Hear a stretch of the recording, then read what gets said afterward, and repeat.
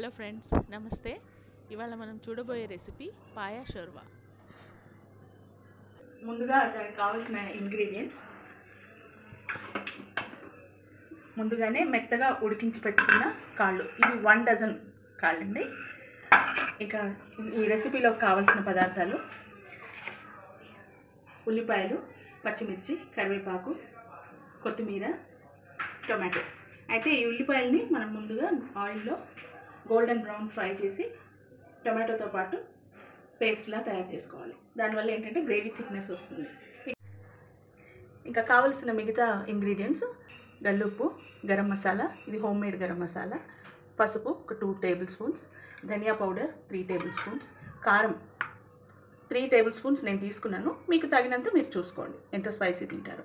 అల్లం వెల్లుల్లి paste two table spoons ఒక పెద్ద నిమ్మకాయ సైజు చింతపండు రసం తీసింది ఇది చింతపండు రసం. తర్వాత నేను ఫ్లేవర్కి ఎవరెస్ట్ గరం మసాలా వాడతానండి. ఇది లాస్ట్లో వేయచ్చు. స్టవ్ పైన పెద్ద పాత్ర పెట్టుకోండి. ఇప్పుడు ఇందులో ఆనియన్ ఫ్రై చేయడానికి తగినంత నూనె వేస్తున్నానండి నేను. కర్రీకి కావాలంటే మళ్ళీ మనం కలుపుకోవచ్చు.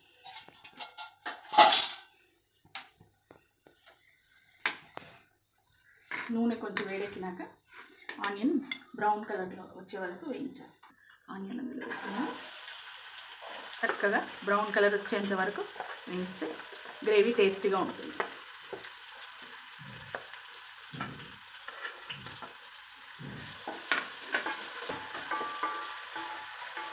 కొంచెం హై ఫ్లేమ్లో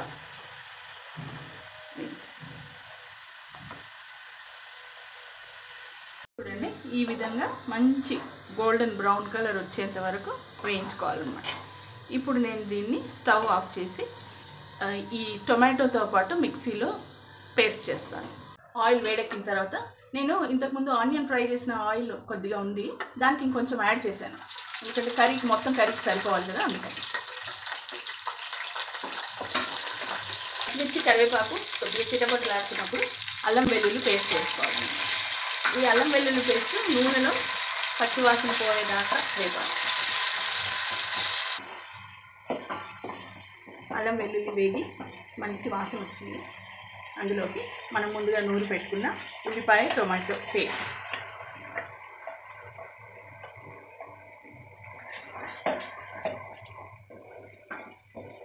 ఇది వేగుతుండగానే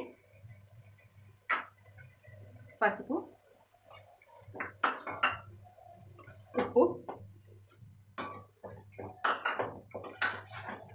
కారంపొడి వేసేసుకోవాలి.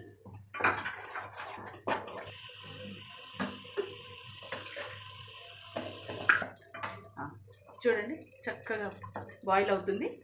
నూనె పైకి తేలేంత వరకు ఫ్రై చేయాలి దీన్ని. ఇందులోకి ఉడకబెట్టిన ఈ కాళ్ళు పీసెస్ యాడ్ చేయాలి. మొత్తం సూప్తో సహా. నేను యాడ్ చేస్తున్నానండి.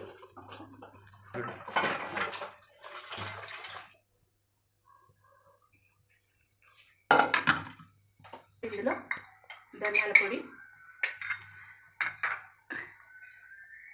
గరం మసాలా.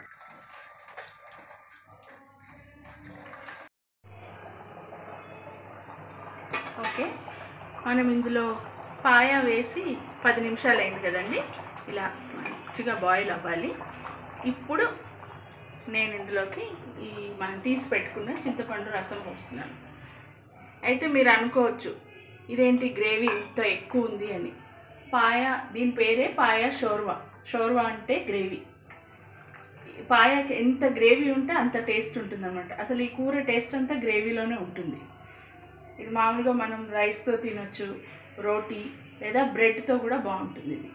ఇప్పుడు ఎవరెస్ట్ మసాలా ఒక స్పూన్ ఒక ఫుల్ స్పూన్ వేస్తున్నాను. ఇది మంచి ఫ్లేవర్ కోసం. ఇప్పుడు ఈ పులుసు వేసిన తర్వాత ఎగ్జాక్ట్లీ ఫిఫ్టీన్ మినిట్స్ దీన్ని బాయిల్ అవ్వనివ్వాలండి. ఫిఫ్టీన్ మినిట్స్ అయిపోయిందండి. గ్రేవీ చక్కగా దగ్గర పడింది.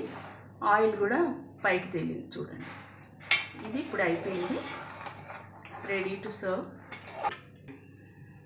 చూసారా? గ్రేవీ రెడీ అయిపోయింది. ఇప్పుడే కొత్తిమీర వేసాను. ఇది ఇప్పుడు రెడీ టు సర్వ్.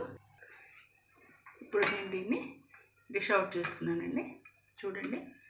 ఎంతో టేస్టీగా యమ్మీగా ఉండే పాయ షోర్వా సింపుల్గా చెప్పాలంటే కాళ్ళ కూర.